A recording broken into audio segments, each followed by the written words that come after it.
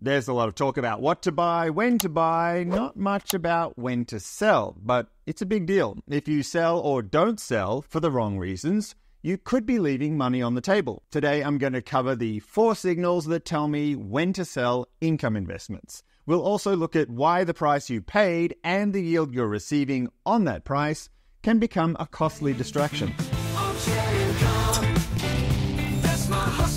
I covered this when to sell topic briefly back in May during a Q&A video. The question keeps coming up, so today we'll expand on it and also address yield on cost, which isn't as important as some people think it is. Ideally, I don't want to do much selling. I'm more of a collector of income investments. Unlike a trader, I'm not trying to buy low and sell high. That's easy to do in a rising market, which makes us feel kind of clever, but I don't want to rely on it to pay the bills. Before I retired, my investing was focused on growth, like most people, so I remember that mentality. Growth investors want to maximize the value of their portfolio. Maximizing returns means foregoing current income and embracing volatility because you have a paycheck to get you through a bear market. That's all in the past for me. Now, my primary goal is to generate consistent income. My secondary goal is to grow that income faster than inflation. The selling decisions we'll look at today are sometimes necessary to serve those two goals. The first signal that may trigger a sale is if the yield falls too low. I'm looking for a yield of at least 8%, but I'll go below that if the distributions are growing consistently. For example, RQI was yielding more than 8% when I bought it. The distributions didn't go up, which is fine, but the price did. That means it's currently yielding down in the sixes. I sold RQI in August so that I could take those gains and buy investments with a higher yield to increase income. In hindsight, RQI went on to appreciate after I sold it, but that's okay. I'm not a trader. I don't know when the price will top. I'm optimizing for income, not capital gains. This yield history chart is a handy way to compare the current yield to its yield history. It came from Snowball, which I mostly use to keep track of my current and future income. I can visually rank my portfolio by current yield, see yield on cost, and know exactly when the next dollar will land in my account. There's a link in the description for a free trial and a discount. By the way, if you're new to the channel, I retired in 2017, and that's when I got serious about researching my investments in greater depth. And this channel is where I share what I learned. I mostly focus on stocks and funds paying consistent yields of 8 to 12%. And if you'd like a copy of my portfolio, it's called Armchair Insider. Link in the description, it's free. The second signal that may lead to selling is valuation. This one is less important than yield for an income investor, but that doesn't mean it should be ignored completely. Assessing valuation varies between asset types, so let's look at some examples.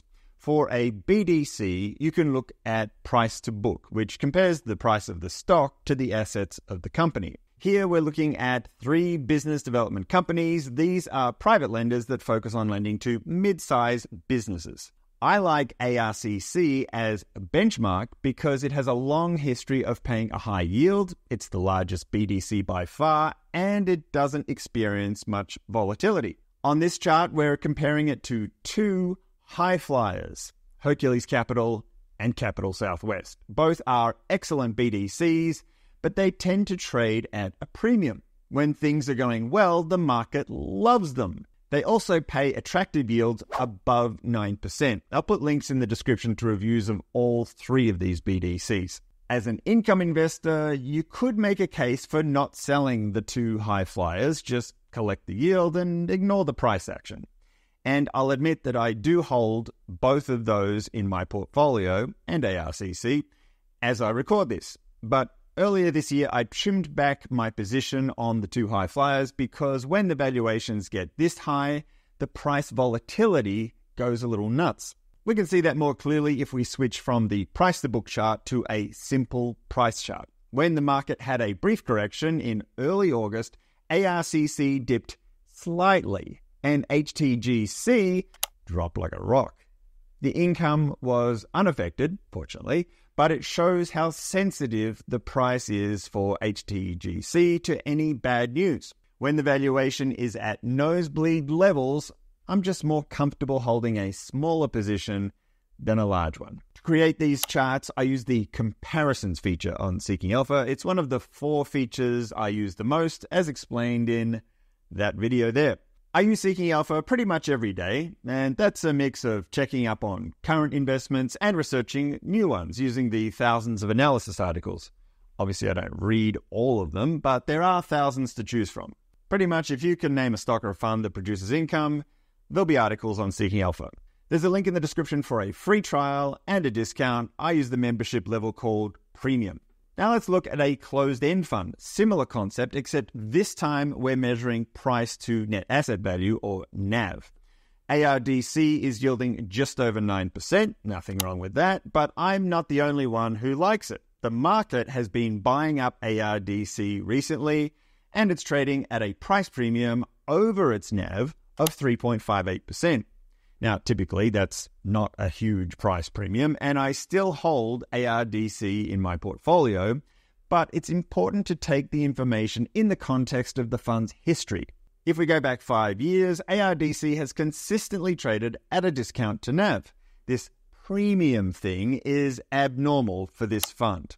If the NAV and the price were moving up together, that would be great. But the NAV is trading sideways while the price keeps going up. That trend can't go on forever. That's why I trimmed some of my ARDC in August. Last example for valuation preferred shares. Most publicly traded preferred shares are issued at 25 bucks. Once they're on the market, the price will fluctuate a little bit, but if the preferred shares are callable, that means the company can buy them back at $25. For this reason, callable preferred shares don't go much above $25. AGNCN was creeping up towards $26, so I trimmed some of those shares last month. If you want to know if a preferred share is callable, Quantum Online is a useful resource. Here you can see the call date was back in 2022 and in this paragraph, it explains the terms under which it can be redeemed, which is just another word for called. I'll link it in the description, it's free. Now, this third signal is more dramatic and usually results in exiting the stock or fund completely. If there's a fundamental change that breaks my investment thesis, then I'm out. And by investment thesis, I just mean the reason I bought the investment. Theory is boring, so let's go to an example. I bought AFT earlier this year. I liked AFT. It was a credit fund focused on floating rate loans and it paid an 11% ish, actually a little more than 11% yield. Then it merged with MFIC, which meant that all AFT shareholders would become MFIC shareholders.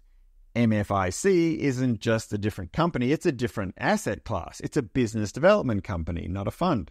One look at MFIC's distribution history, and I could tell it's not for me. A history of distribution cuts is almost always a red flag.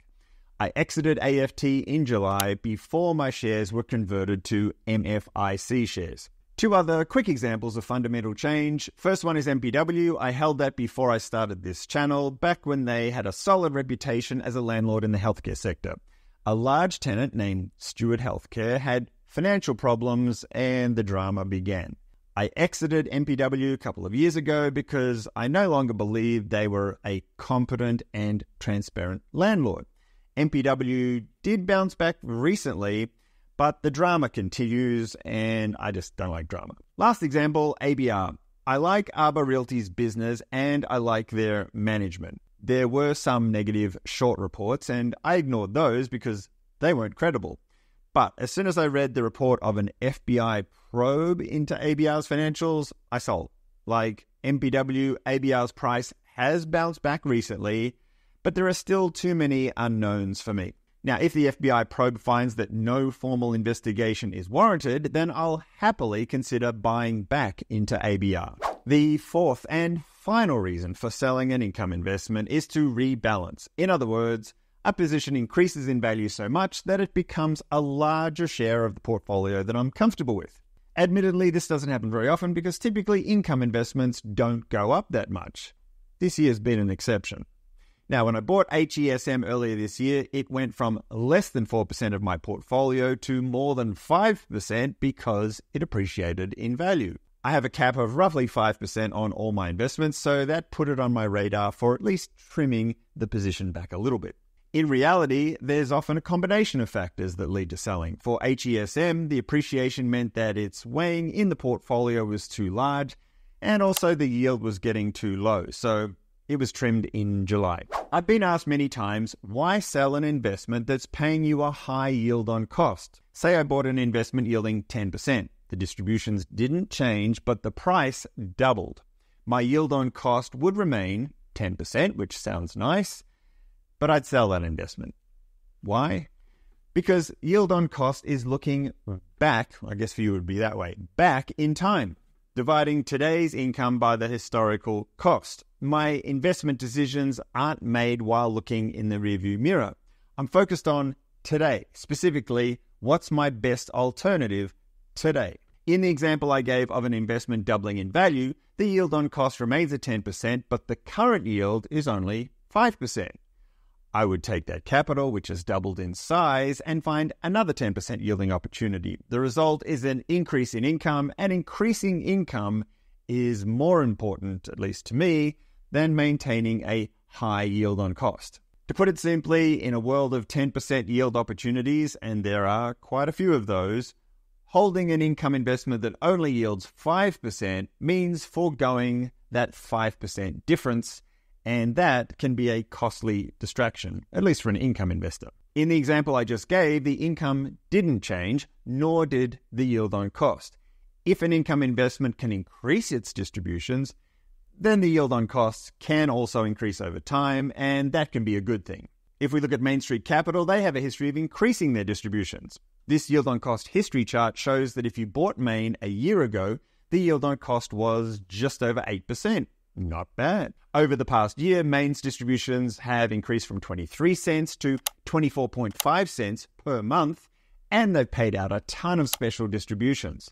The result is that the investor that bought Main a year ago now has a higher yield on cost. It's gone up to 10%. So, in summary, an increasing yield on cost can be a good thing, but just because the yield on cost is a big number doesn't mean you should necessarily hold on to that investment. At least not for that reason. The point of this video wasn't to say copy my four reasons for selling. The point was to show that a growth investor and an income investor don't always approach selling decisions the same way. A growth investor focuses on the obvious stuff, the potential profit from a sale. But an income investor focuses more on the safety and the potential growth of the income stream from the portfolio. If you want to learn about those four tools I use for income investments that I mentioned earlier, things like price to book and total return charts, I'll link that video over here. That wraps it up for this look at when to sell income investments. More armchair income coming soon.